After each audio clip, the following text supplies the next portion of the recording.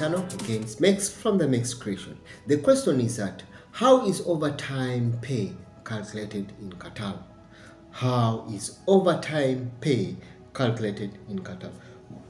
Most of you have been in the Gulf countries and you've heard of what we call overtime and you've even the companies that you're working uh, for, you've heard of what you call the overtime pay. By the way, how many of you have got a chance to know how to calculate that overtime and how many of you have got a chance to enjoy the benefits of overtime in your companies then drop in uh, uh, drop in your your your your, your, view in the comment section. Remember, when we are looking at according to the Article 74, that is according to the Article uh, 74 of the employees in Qatar are all entitled to what we call an additional uh, an additional payment to their standard wage.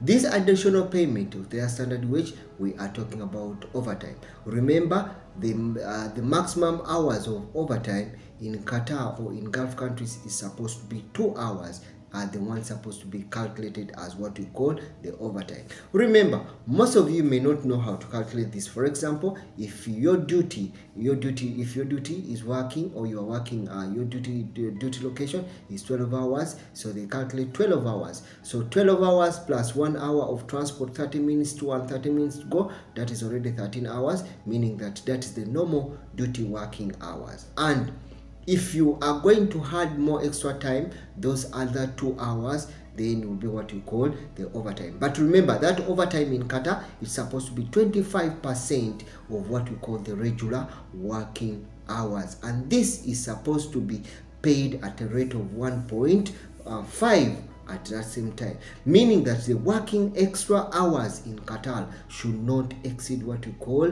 uh, two hours is what we call that's what we've calculated as the, what we call overtime. That overtime we are talking about is an extra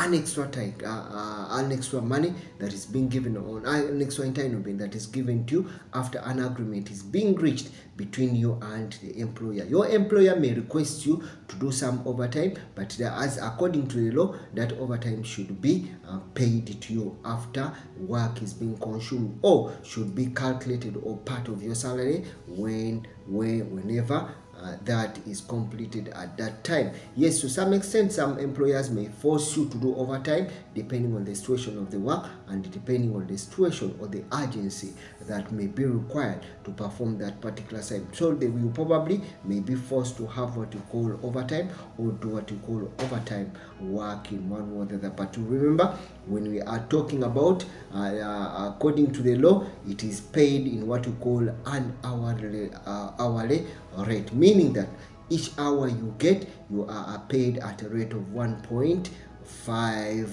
Qataria. So meaning that for you to get the actual hours that you've worked uh, with overtime you definitely get 1.5 which is the uh, actual hourly rate. Then times the number of hours worked which is 2 and it will give you definitely a round figure or to give you that figure that you worked for as overtime. Hope i've tried to share something and give you a light regarding overtime. Thank you so much. See you again in the next video. It's mex from the mex creation tv